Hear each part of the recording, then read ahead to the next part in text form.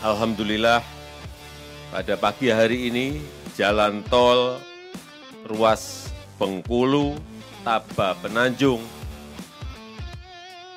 akan beroperasi dan ini akan menunjang mobilitas logistik, mobilitas orang, dan akan memunculkan titik-titik pertumbuhan ekonomi baru. Dan dengan mengucap Bismillahirrahmanirrahim pada pagi hari ini, saya resmikan jalan tol Bengkulu Taba Penanjung di Kota Bengkulu, Provinsi Bengkulu. Terima kasih. Wassalamualaikum warahmatullahi wabarakatuh.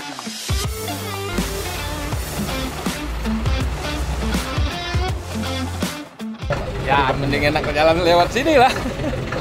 Kalau dulu uh, jarak tempuh gimana? Agak jauh.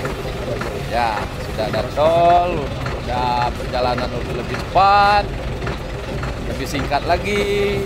Biasa kami pulang jam 5, jam 6. Sekarang sudah ada tol, jam 3, jam 2 kami udah pulang.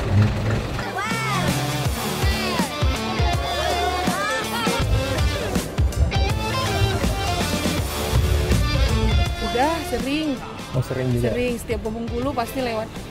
Oh. Yang pasti waktunya sangat membantu sekali ya dari perjalanan dari Curug ke Bengkulu khususnya ke bandara. Waktunya sangat jadi apa jadi lebih singkat dibanding kalau kita lewat dari jalan biasa. Eh, yang biasanya ke Bengkulu itu dari Curug itu dua jam setengah sekarang bisa jadi satu jam setengah aja kita udah sampai.